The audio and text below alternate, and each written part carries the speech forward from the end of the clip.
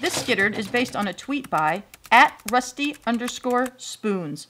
I was so spanked last night I got felt up by a mannequin.